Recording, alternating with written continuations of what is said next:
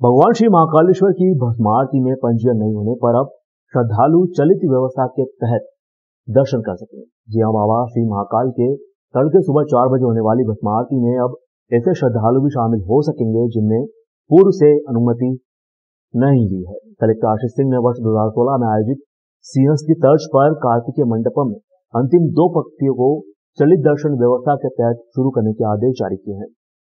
Collector के अनुसार यह प्रायोगिक रूप से सात से आठ दिन के लिए शुरू किया गया है। व्यवस्था ठीक होने पर इसे हमेशा के लिए लागू किया जाएगा। इसी व्यवस्था से ऐसे श्रद्धालु को काफ़ी फ़ायदा होगा, जो अन्य शहरों से आते हैं। उनकी भस्म आरती दर्शन की अनुमति नहीं होने के कारण भस्म आरती में शामिल नहीं हो पाते हैं।